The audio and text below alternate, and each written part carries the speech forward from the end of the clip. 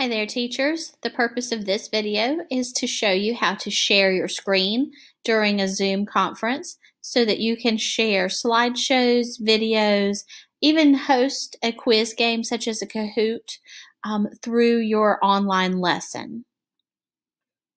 So first of all, in my Zoom settings, I need to make sure that the in meeting setting that allows screen share is turned on. And then below that, you determine who can share. Mine is set to host only so that I'm the only one who's sharing. But if I was going to have students share projects through a Zoom meeting, I would need to change that to all participants. Now, once you have started your meeting, your controls at the bottom of the screen is where you need to look to be able to share your screen because we have enabled the screen share. So when I share my screen, it gives me the choices of what I'll be sharing, and that's going to depend on which particular application you want to share. Um, if I only want to share things that are in Google Chrome, that will limit the student's ability to see all of the things on my computer. I'm going to click on just Google Chrome. So now I'm actually sharing my slideshow.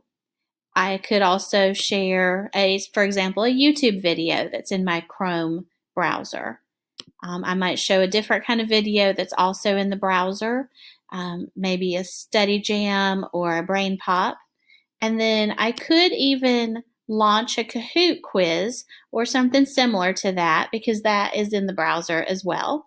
When I'm launching it from my screen, the students are going to have to go on their own device and enter the code for the quiz, just like they normally would when we're in the classroom. Since I'm sharing my screen with them, they're going to have to figure out how to minimize that screen so that they can have another tab to get into, or else do it on two different devices.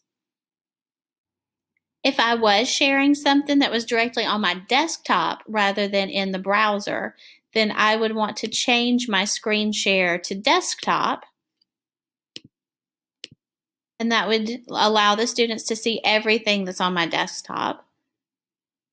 I could also choose to share what's coming from another device through these other options. If I want to be a little fancier, I could click on the advanced options and I would be able to choose just the particular portion of my screen that I want to share. I could share just the audio from the computer rather than the audio and video, or I could use something like a document camera um, if, say, maybe I'm a math teacher and I'm showing how to work out a problem. So, from the viewpoint of the student, when we have the screen share on, they're going to be seeing what we're showing. And as I go through the slides, they don't have control of those slides unless I've given them the link to the slides separately. So as I go through slides, they're seeing it as I'm moving through it. If they need to be able to control something on their own computer, then they would need to hit an escape button to minimize out of that screen. Um, on certain computers, the Zoom app is a totally separate window, but on Chromebooks, a lot of times it'll be one of the Chrome browser tabs. So when they minimize out, they'll be able to see their other tabs. And it may be that I have um, have instructed them to pull up a document to do some work on, or I might have instructed them to go to Kahoot and be ready to put in the game pin.